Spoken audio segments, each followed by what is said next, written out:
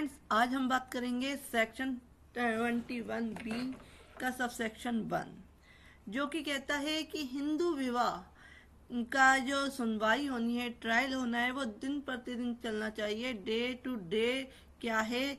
चलना चाहिए कंटिन्यू रहना चाहिए, जब तक कि मामला पूरा निपट नहीं जाता, समाप्त नहीं हो जाता। तो ये बताया गया है सेक्शन 21 बी का सब सेक्शन वन में।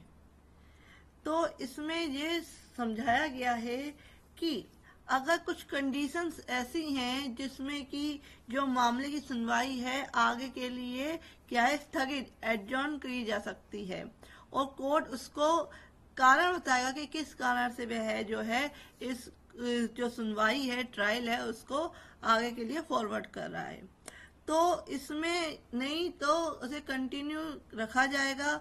दिन प्रतिदिन यानी कि है वो जारी रहेगी जब तक कि पूरा मामला समाप्त नहीं हो जाता। तो इसका नोट कर लीजिए इम्पोर्टेंट है। If you like my video please like share and subscribe my channel thank you for watching this video